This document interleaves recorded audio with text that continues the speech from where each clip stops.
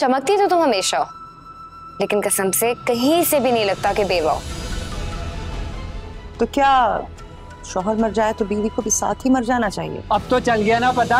सच्चाई आ गई सारी सामने। अब निकलो। जाओ अपने घर शाबाश मैं ना तुम सबको एक एक को देख लूँगी मैं। बड़ी कम उम्री में तुम्हें बहुत बड़ा दुख मिल गया है भाभी। इस गम के साय को मैं बहुत जल्दी तुमसे दूर कर दूँगा।